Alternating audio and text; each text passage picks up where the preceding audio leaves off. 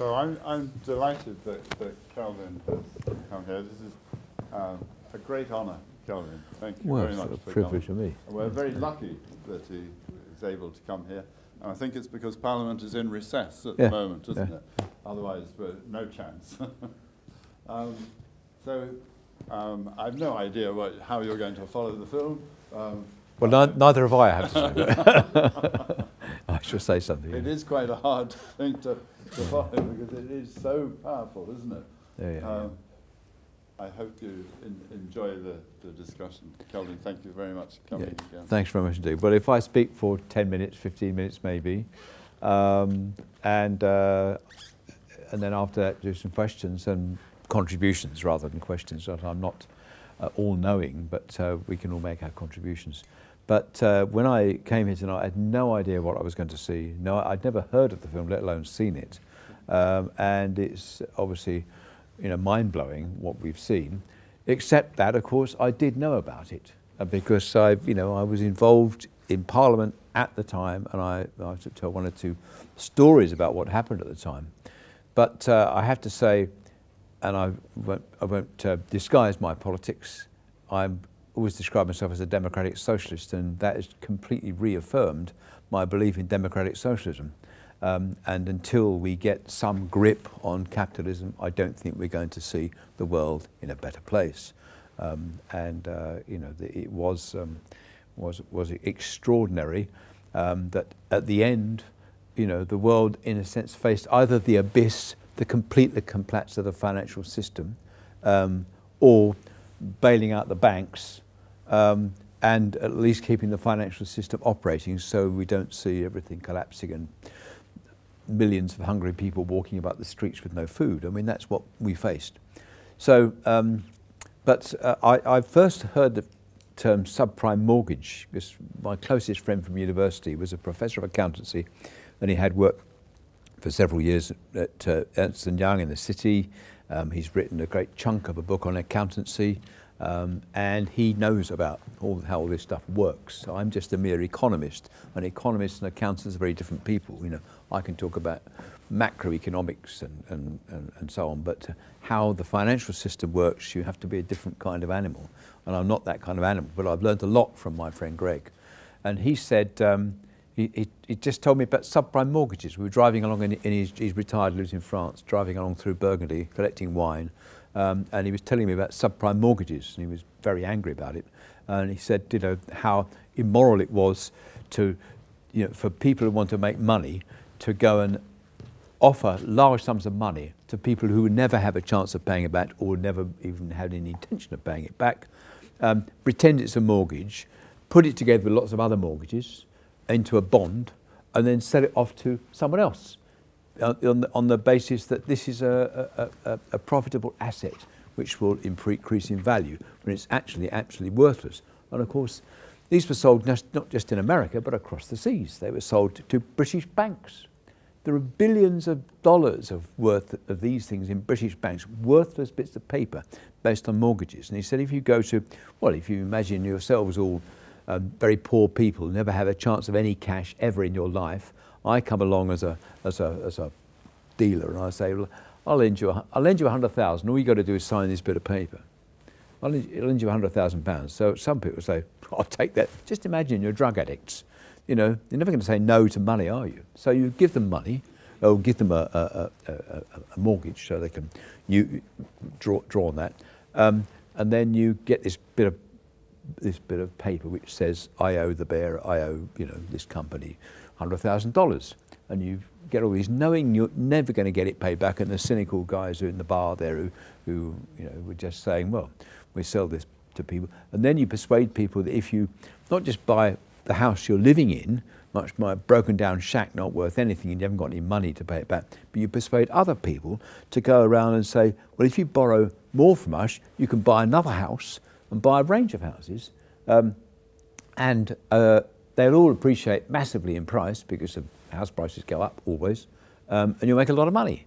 So you borrow, borrow, borrow, and you're not very sophisticated, uh, uh, and that's what happens. I have to say, uh, back in the, in, in the, the late 80s, I had a young man came to my door to try to sell me some life insurance or whatever. and uh, he could barely count. I mean, he was just sent out there to get my money, on, signed on a bit of paper. He had no understanding of what what he was selling at all. Um, he just wanted me to sign a bit of paper, uh, which would pay a lot of money to an insurance company.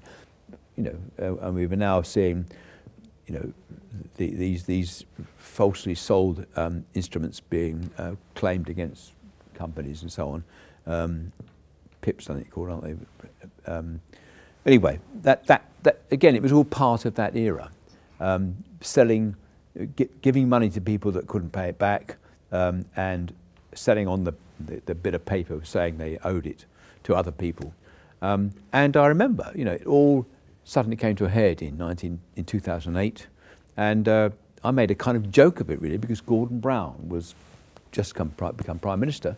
And Gordon Brown uh, actually had, was one of those who persuaded the world system to actually, we've got to refinance the banks, otherwise the whole system will collapse. Um, the, the alternative is a complete total collapse or um, giving these crooks a lot of money. And so they decided to give the crooks a lot of money. And I was in Parliament, he was Prime Minister, and I managed to get in a Prime Minister's question. And on one Friday morning, we'd had a private member's bill giving some workers' rights. And I thought that was very positive and it had been it didn't actually get anywhere but it had a second reading and a second reading vote was lots of Labour MPs piled in on a Friday private members bill not whipped but we and we passed this second reading. And then we all went out into in, into uh, New Palace Yard which is just where, where, you know next to Parliament where Big Ben is. And we all sang the red flag. We thought great we've got a bit of a victory here. And then on the Monday or Tuesday um, we saw that Northern Rock was collapsing. People were queuing outside to take their money out of Northern Rock because they knew it was a bank, it was going to, they wouldn't get their money back. Um, and Gordon Brown, at that moment, had to, the, the, well, the, the government had to nationalise um, the, the bank and ensure that people were going to get their money back, Northern Rock. So I said in Prime Minister's question, I said, well, last week, Prime Minister will remember we passed a, a bill giving workers' rights and we all went out and uh, sang the red flag New Palace Yard and now the government is nationalising a bank. At last, we're having socialism. And everybody fell about laughing, you know. But, you know, it, that, I remember it well, you know, and uh, I, I, was never part of New Labour and never part of the Blair Brown group. I had utter contempt for them because they were on the wrong side. The division in politics and economics is actually between those people who believe in the free market and global finance capitalism and those people who believe that the state, the democratic state, should have a right to control the economy on our behalf and keep it under control. Um, and in fact, if you go back to the much maligned and much mocked 1983 Labour Party manifesto, we wanted to take, in our manifesto, take, many of the financial institutions into public ownership so they'd be publicly accountable and could not do this sort of trickery. Um, and we were mocked and laughed at as being extremists. Um, and, uh, you know, we lost the election basically because of the Falklands War, but nevertheless we lost, that, lost the election. Poor Michael Foot was mocked and derided, and he was a very decent man, bit like Jeremy Corbyn, another decent man who bound up in this dreadful world of politics. Um, but, you know, we, we, we, we, uh, we had seen this coming, and there was an MP for Luton North, or Luton West that time, called Brian Sedgemore. Some of you may remember I was his party chairman. And Brian was a bit over the top in some ways, but he actually said the financial institutions are the problem. We have to get a grip on them. And this was back in the 70s and 80s when he was our MP.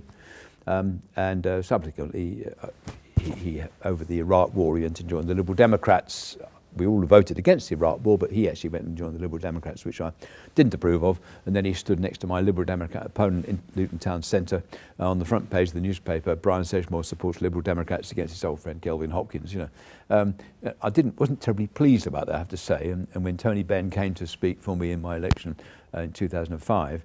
Um, shortly after Brian had gone off, he said, uh, people said, is Brian, Brian still your friend? I said, well, well, not really. I said, you know, having done what he's done. It's not nice, but uh, subsequently we, we made it up and we, we had dinner together and uh, he, he, said he was very, very sorry. He didn't realise what a terrible thing he'd done, but um, and, and then subsequently, sadly, he died a few years ago and I went to his funeral, but um, you know, he had been a very close friend for a long time. But anyway, he said the financial system is what the problem is. We've got to get grip on the banks and the financial system. Otherwise, um, we, will, we will be in very, very deep water. And uh, that's what's happened here. There's no morality in there. The thing about this money, nobody, nobody was making anything. You weren't, they weren't growing food or making things that we can use or even building houses. You know, they were just playing with assets, playing with money, and often playing with worthless bits of paper, but gambling with them. It was like a massive gamble, gambling, uh, like, like Las, Las Vegas for the world. Um, and they were actually making it. And even the guys who broke it, you know, at the end, they, they felt bad because, in a sense, they were drawn into the system and making money themselves as well. Um, but on the other hand, they did actually break it. And we thought at that time, and you read Larry Elliott in The Guardian from time to time, I think he thought that capitalism would finally be brought to heel because of that. I mean, we're not talking about, um, you know, the mixed economy and post-war social democracy. We're talking about global free market capitalism where money can flow across boundaries.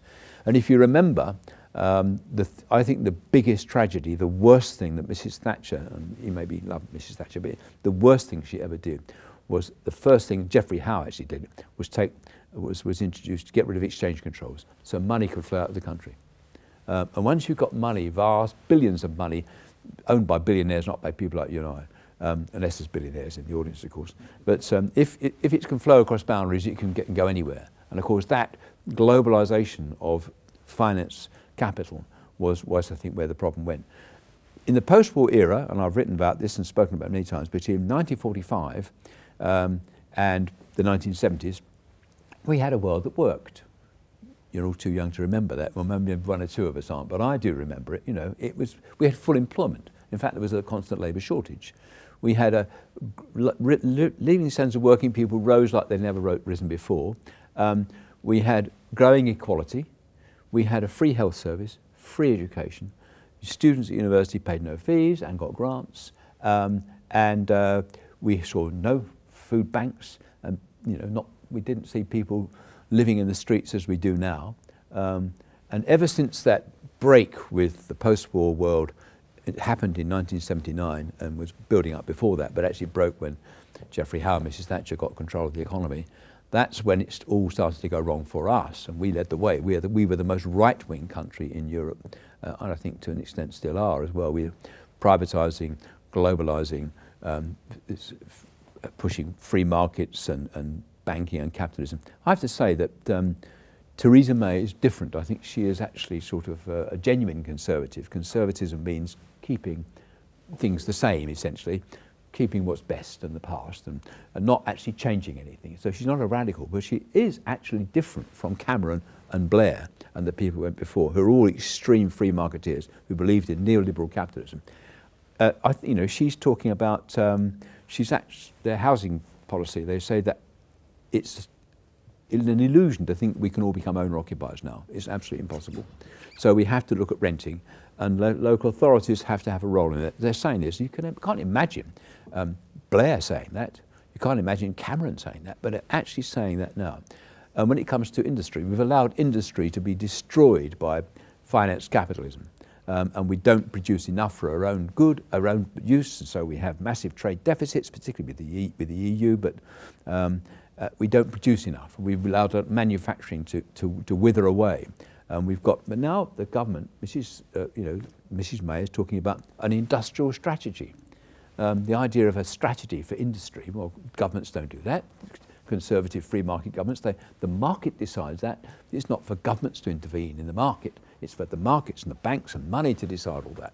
Um, but she's doing this, and it's interesting. I took part in a debate when she, uh, shortly after she'd mentioned this, led by a Conservative MP called Chris White for Leamington, and he was very keen on an industrial strategy, and I applauded him for what he said. But around him were two or three Tories who were going the colour of that bit of paper, horrified. They were talking about an industrial strategy. They said, that's socialism. What about the market? What about the market? So there's a serious division within the Conservative Party now growing up between those who accept that the state has to have a role um, in managing economies and those who say it should be the market and there should be no constraints. And uh, the market will always produce the goods. And if you go back 30, 40 years, I remember um, Milton Friedman, who was a professor of economics at Chicago University and an extreme free marketeer, he was the great guru of, market, of, of, the, of the free market, following from the, the evil genius of it all, called Friedrich von Hayek. Anybody heard of Friedrich von Hayek? He was, he was uh, the one who wrote a book, which I read at university, didn't I had it, but um, called, called The Road to Serfdom. And he thought that any, if the state is involved in our lives in any way, providing free health and education, um, redistributing income, making sure that when people are unemployed or ill, they're looked after, all of that was going to make us all slaves. So we had to destroy all that, get rid of the state in our lives, and leave things to the market. And that book, he, he wrote that book. And the, uh, when, um, when Mrs. Thatcher was elected, she had a copy of that book in her handbag, literally. And Friedrich von Hayek, an old man, said, um, at long last, I'm, this is the happiest day of my life. At long last, one of my disciples is in power. Um, and, you know, we, we've, we've, we've gone on from there. We have at some time, some stage to say no, we've got to get a grip on our economy, start to, not talking about revolutionary socialism, just going back to the kind of post-war social democracy we had that was designed by people like John Maynard Keynes. Now, Keynes was a, a member of the Liberal Party. Now he's regarded as an extreme left-wing socialist because he thought we ought to manage the economy to, to produce full employment so that, you know, governments have a role to you know, make sure people have jobs.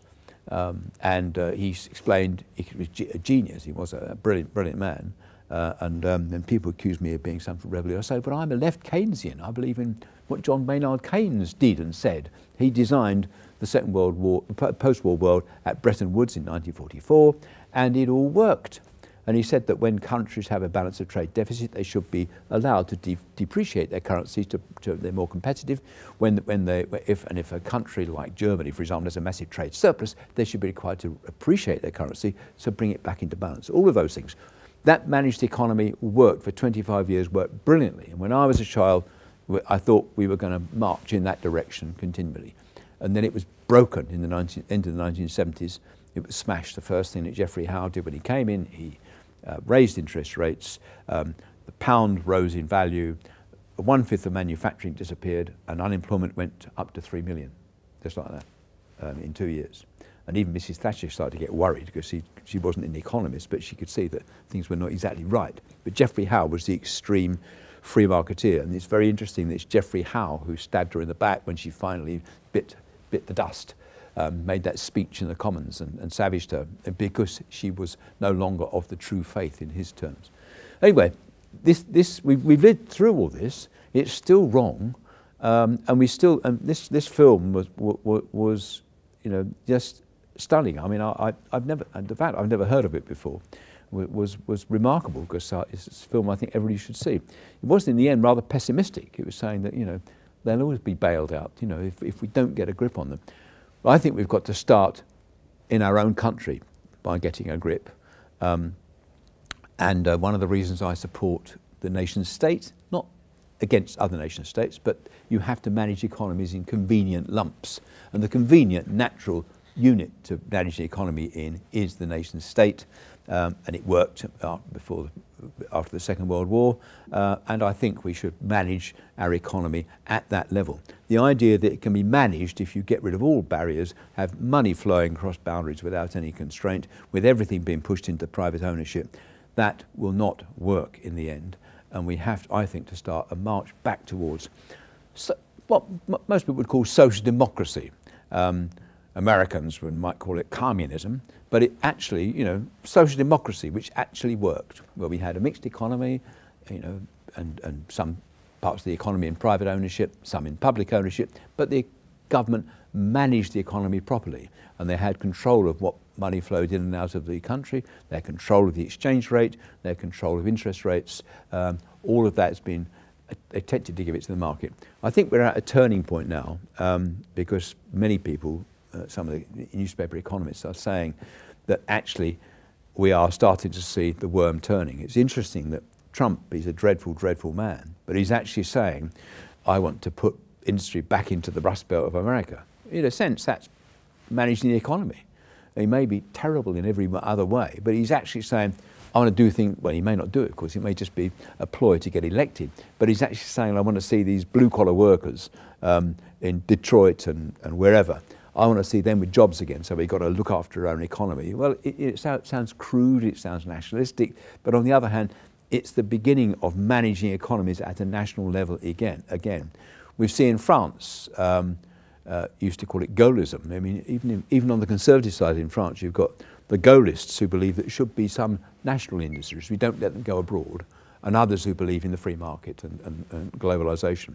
And in Germany, of course, you've got uh, companies which are which the Germans are very keen to make sure are kept in the ownership of German people. BMW, I think it's still family owned, but they're German, so they want to make sure it's owned by. But then we've allowed uh, the, the, borders to disappear, to money to flow out.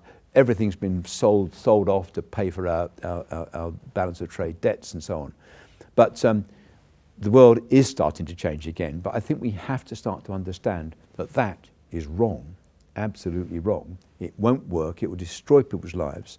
And in the end, we've got to get back to some world where dem people democratically, through their governments, get a real grip of their economies again and start to create the civilized life, which I believe is, is perfectly possible um, once we understand and take power. Anyway, I could talk forever about this, but hopefully that's just a taster to get you started in questions. So first of all, uh, thank you for coming here and give us the opportunity. And second, English is my fourth language. It's not hmm? even second language. So if you don't understand anything, I can repeat again and I'm again. full of admiration for having four languages. I've only got one and a bit, you know. Yeah. So, like what you said, we hope that the government control the financial institution. Mm. And I have two questions, and I won't have chance to talk again, so I can ask two questions in a row. Yep. One financial institution is a private sector that is the uh, car insurance companies. Mm. I had insurance for about seven, six years, that was 380. Yeah. And 2010, they increased to 2,700. When I called them and they said to me there are many claims in Luton area. So I said I haven't claimed anything. So why you give like a collective punishment? And they were not agree with me. So the government don't have any control over that insurance companies. Mm.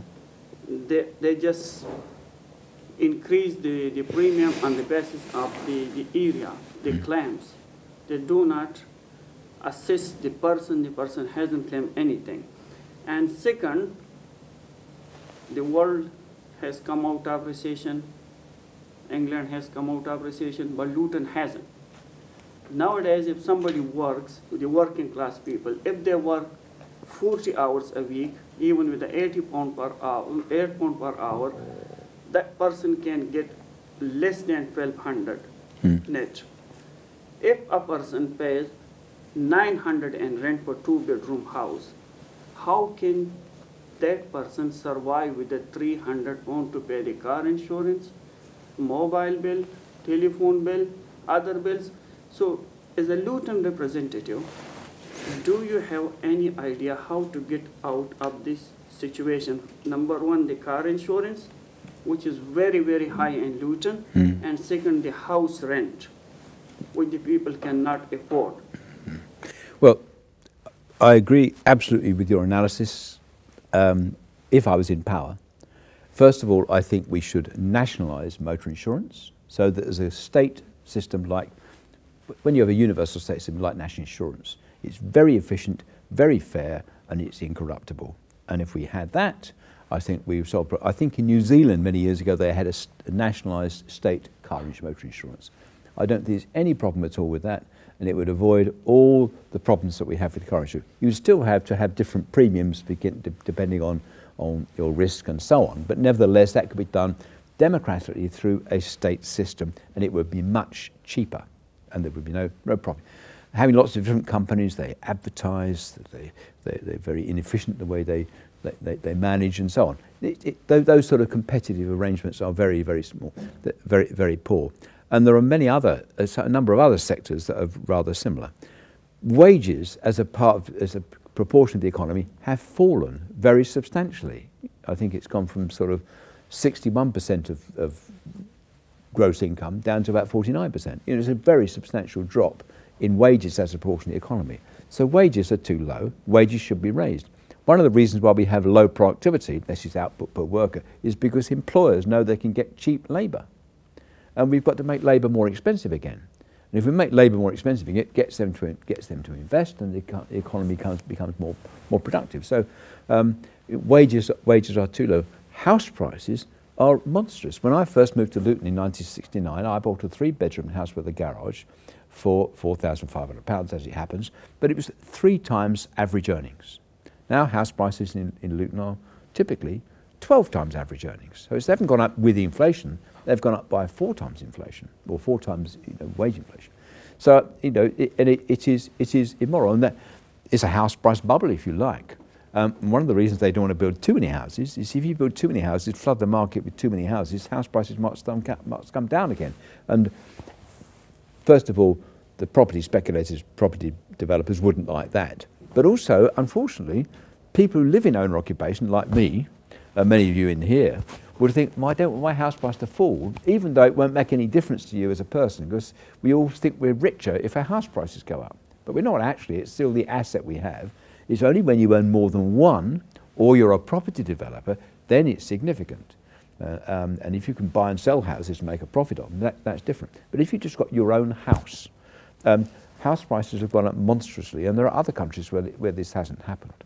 Um, I think we've got to, if we want to keep the housing market uh, at, at, a, at, a, reasonable level, we've got to build many more houses in the, in the, in the owner-occupied sector. But more importantly, we've got three million people on housing waiting lists who will never be able to afford owner occupation. We've got to start building local authority houses again. And if you look at those of you know Luton, you go to certain parts like Lewsey Farm, the Runfold Estate, you see these superb houses built sometimes 60 years ago. They're still in superb condition now, brilliantly built, uh, when the economy was much poorer. If we could do it then, we could do it now. But they've chosen not to do that because they want to you know, play the game for the moneymaker, for the speculators, for the, for the property developers and so on. And also, when house prices go up, it means that uh, you know, quite a lot of people vote for the government that's made the house prices go up. And it's interesting that the Tories, the Conservatives, I, I can't describe my politics, after 1992, when we had the collapse following the exchange rate mechanism, another bit of madness, we had the European exchange rate mechanism, and we joined it, and we couldn't sustain it. Um, and what happened was interest rates went up and up and up to 15, 16%, and thousands of people just in Luton, uh, millions of people across the country, or either went into negative equity or lost their homes completely and went bankrupt. That was what killed off support for the Conservatives in the early 1990s and led to the massive victory of Labour in 1997. Nothing to do with the dreadful Tony Blair's looks. It was actually to do with the fact that the housing market collapsed. Unemployment went up to 2 million. And people said, I'm never, ever going to vote for that party again. They've forgotten now because there's a new generation come through. So, you know, these things happen. Folk memory doesn't last forever. But that's what actually happened. Um, so, owner occupation is, is, is proving to be uh, an impossible dream for millions of people now. Um, and yet now we're in the hands of private landlords. And the government wants to set off, or certainly the previous government did, want even to get push um, uh, uh, housing association houses into, into selling, selling those off as well. Uh, many housing associations now want to become private companies. And one um, chairman of a housing association meant to be for social housing. He said his ambition is to, is to be quoted on the stock exchange. He wants it to be wants to become a private housing company, pay, pay, you know, like a private landlord. But private landlords now are unconstrained. When I was a young person in the 1960s, when I was a student, um, we had a Labour government introduce rent controls. And we had very strong rent controls because before that we'd had Rachman landlords who used to go around with Alsatian dogs terrorising tenants, um, threatening them um, and getting them, pushing them out if they couldn't pay the higher rents. Exploitation by criminal gangs who, who effectively private landlords who effectively criminal gangs. It's not quite as bad as that yet, but on the other hand, private landlords, private landlordism is, is, uh, is, is not um, to most people's taste. Um, I would personally like to see a, a, a fair amount of municip municipalisation. If a lot of those private houses, particularly ones in poor condition, will compulsory purchase them at a reasonable price, um, not a massively inflated price, uh, taking account of the condition of the house. Then we could eh, bring the local authority in to re- renew, re, re, um, to repair the house, make it, put it in good working order, and rent it out. And of course, that sort of thing is not spending money that just disappears because you always get a return when you have rent. But if, uh, local, let's expand the, the local authority sector. Stop selling council houses. Anybody who's bought the council house, good on you because they were so cheap. You'd be foolish not to buy them. But uh, actually, it means that once that house is taken out of the private sector, it never it gets back in for future generations. And we've seen, uh, you know, millions of council houses sold off, which has made a lot of people happy. And uh, and uh, Mrs. Thatcher said, people, if you we built people who live in council houses vote Labour, so let's get rid of the council houses. Uh, and just recently, George Osborne, you know, hero, hero of everybody's, I'm sure, um, he said, why should we build council houses? They only go and vote Labour. The, the, the utter contempt for the interests of ordinary people is appalling. But it's all to do with this globalisation, free market, free market uh, capital, finance capitalism, which is, which is making a mess of the world. Uh, and I think we've got to, you know, challenge it all and have a bigger role for the state, not you know, owning corner shops and vineyards and, you know, a lot of private companies, of course, carrying on doing things in manufacturing and elsewhere. But certain sectors of the economy ought to be either in public ownership or strictly publicly controlled so that ordinary people can have a decent place to live, can have enough money to pay the bills uh, and have, a, have a, a, a, a, good life for their children. So, you know, I, unapologetic, I'm an old-fashioned socialist. Yes. I was interested in what you said about global capital. Um, do you see an end to the um, flow of, of money in and out of the country? Like in the 19, I can remember the 1970s, um, we weren't allowed to take money out of the country, you know. But you know, I feel myself that the genie is out of the bottle. You know, uh, it, it, back then the society was much more homogenous, whereas now the society, society is much more international. And I feel that you know. yeah, Um, it wouldn't be a good idea to go back in, in that way to such a tight control of money, you know, where people co- couldn't take more than £100 out of the country. You know, it makes so many things impossible. It makes it impossible to go out of the country without having a job before you go and so on, you know. I see, I see national boundaries as, as filters rather than barriers. Uh, and, and well, £100 you're going to multiply by 30, it's £3,000. But, uh, you know, for investment purposes, for whatever, um, money flowing across boundaries is, is sensible. But vast sums of money which have been gambled on international foreign exchange markets um, at our expense, I think that, that's not right. So, but even Mervyn King, who was until recently the governor of the Bank of England, even he said at a Treasury Select Committee meeting around about 2008, he said, if things don't get any better, we'll have to reintroduce exchange controls. Now, that doesn't mean an absolute block on money going in and out of the country. It means some constraint. One suggestion is what they call the um, is the transaction tax or the Robin Hood tax, where for every transaction you have a, a 0.01% uh, cost on that transaction. Now, for taking your money out of the country, investing a million pounds in, in, in a, a new, you know, train for the railways or whatever, that wouldn't cause a problem. But 0.01% is nothing. But if you are, uh, money is flooding backwards and forwards across exchanges every, every minute, um, you know, it happens many times a day, it starts to build up. But it would, it would act as a brake on that kind of gambling, those kind of gambling flows, and would also bring in some income which could be used for, for good social purposes. So the Robin Hood tax, but the city and the gamblers, the, the, the bank are totally opposed to it. Jeremy would do it, I'm sure. But it wouldn't still stop money flowing across boundaries and money for investment, um, holiday money. I mean, you know, if, if you upgrade that for today, you know, £3,000 per person, £6,000 for a holiday, it's enough, isn't it? I would have thought. But, um, you know, we could talk about numbers, but it wouldn't be a complete block on money flowing, um, but it would be um, co- constrained so that it would be for genuine investment and for personal use.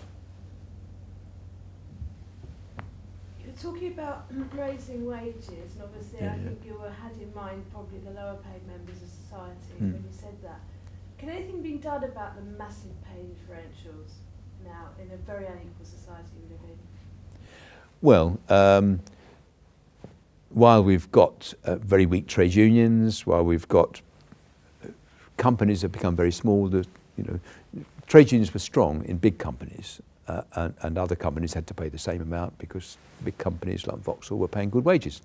Um, they were unionised, and in those days, of course, because there was a labour shortage, big companies had to pay good wages to hold on to their workers. One of the reasons they introduced um, occupational pension schemes was to make sure that there was a, something that would hold the workers in their company for life so they could train them and they wouldn't just go off to some other company. If they, they, that, so that was a way of holding them. And of course, people in Luton, older generation now, who worked at Vauxhall's in the good days, they bought their home, they had a good wage, holidays abroad, and of course they had a good pension at the end of it. But that's all been sliding away now.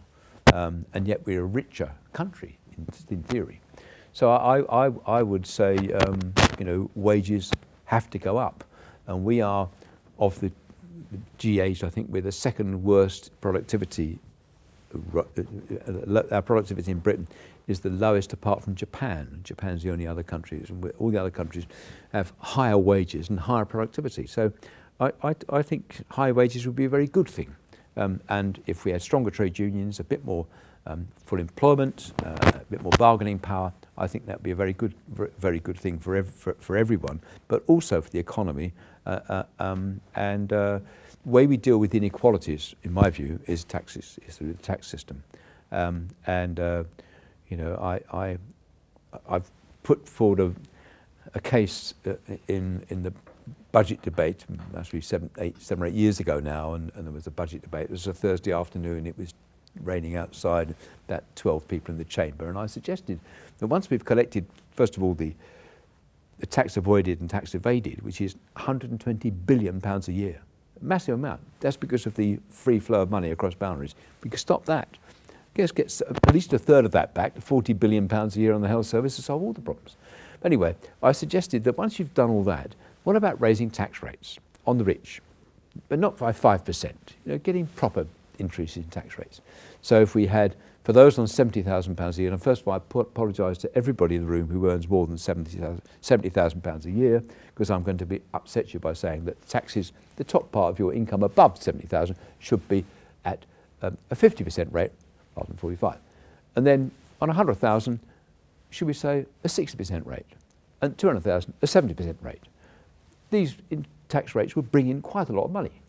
Um, but they're nothing like the tax rates we had when Denis Healey was Chancellor back in the 1970s and he said he was going to squeeze the rich until the pips squeak. There's nothing like the super tax rates we had after the Second World War when George Bernard Shaw, um, who was a socialist, of course, and he, he, said, he said I, he was paying tax at 98% because he was very wealthy. The top part of his income at 98%. He said, I regard myself as a tax collector for the government for which I get a 2% premium. and, you know, but, you know, and I know rich people, I say this myself, I say this is genuine. I, I, my income is now £74,000 a year, plus my wife's pension and my pensions from our previous jobs. Um, our house mortgage is paid off. Um, I, and I don't know what to do with my money. I, have got enough to do all the things I want to do. Um, I can help my children with their, their, their lives as well. I should be paying more tax. One of the reasons I said 70,000 a year is because we get a bit more than 70,000, so I'd be part of it. I'm not talking about other people, I'm talking about me as well. Um, and uh, we, I think we should raise taxes on the better off again. Maybe not going back to Denis Healey's time or, or the, or the post-war world of super tax, but nevertheless we should raise taxes and start. To, but we've got to, I think, have, um, before we do all that, to start collecting the tax that's avoided and evaded. There's a man called Richard Murphy who's written a book called The Joy of Tax, which I think is, you know, he wrote about a year or two back, and he's a friend of mine. And I, I, I think it's, it's when I'm paying my taxes, I think I'm paying for the health service. And I want the health service to be better. It's underfunded, desperately underfunded. We spend 2% less of our GDP on health than Germany, France, wherever. Um, and that's the equivalent of between 40 and 50 billion pounds a year. So if we just had a, paid a bit more tax or collected a bit more tax and paid 40 billion pounds a year extra for the health service, we wouldn't have all the problems we've got at the moment. Uh, we, we could just sol solve the problem. And it's not the, the system of National Health Service, which is brilliant and extremely efficient, actually. The fact that they can get away with it get away with running a health service on the little money they do is because they're working miracles on a bloody pittance because they don't get enough money. The, the system doesn't get enough money. So I, I, I say all these things and I say them on the doorstep and people don't. And I, what I do is I say to you, and, and I like to say to people, if you think I'm wrong, tell me where I'm wrong and demonstrate your case. Um, and people don't say, you're not wrong, you're just mad. Well, I, why am I mad? What am I mad about? What's, what's mad about saying something sensible? Going back to a world, not going, remembering the good bits of the world that worked that we used to have. You know, post-war, the post-war social democratic settlement it was called. Social democracy, democratic socialism, if you like.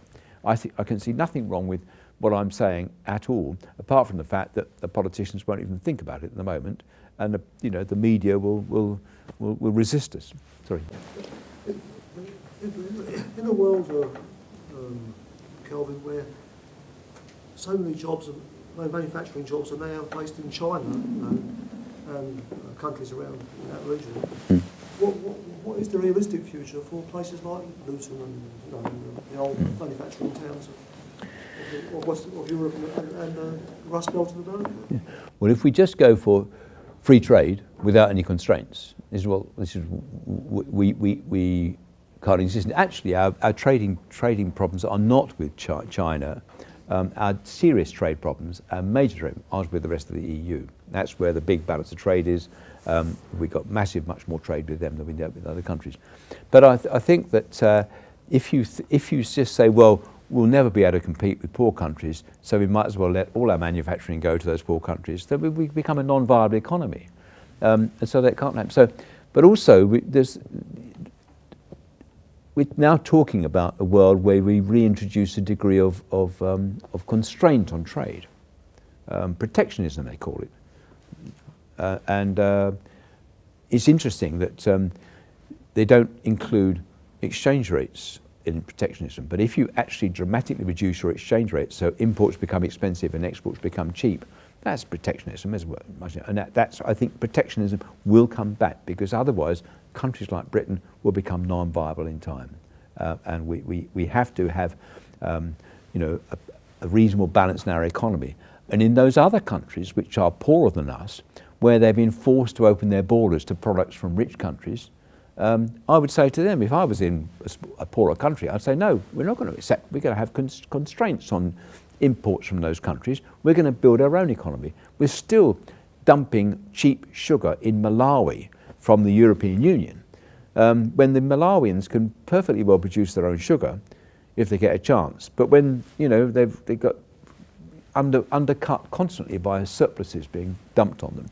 So I, I would say let's free trade is, is a kind of shibboleth. It's a kind of um, belief that everybody thinks is good. Well, I've, there's a book I've got at home which I've read. This is written by an Australian economist demonstrating that actually since free trade came about, the world economy has got worse and output across the world has actually, uh, gro sorry, growth, not output, growth has actually slowed, and, but in severe stages.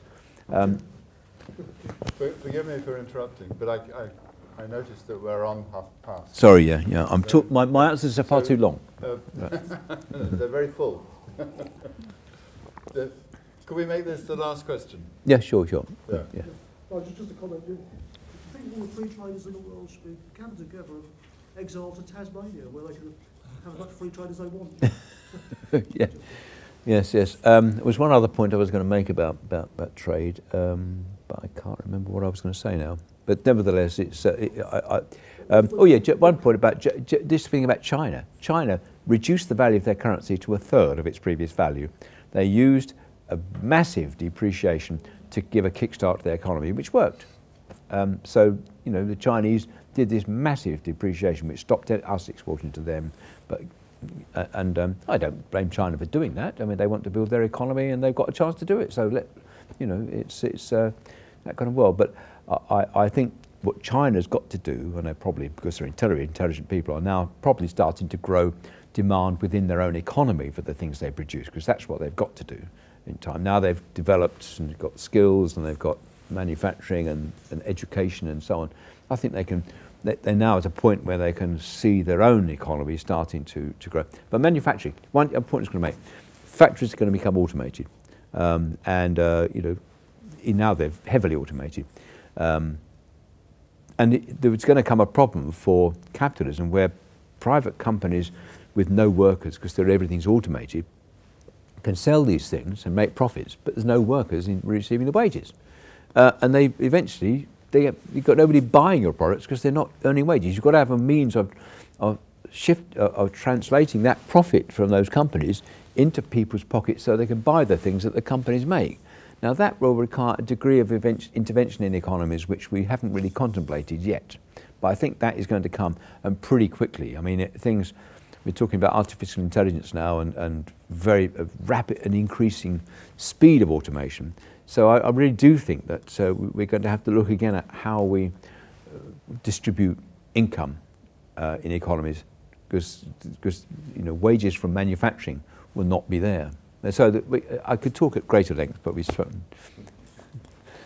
Kelvin, thank you very much for coming and for such entertaining and um, involving um, issues that you've raised. Thanks very much, everybody, for, for coming. I hope you've enjoyed the film and the discussion afterwards.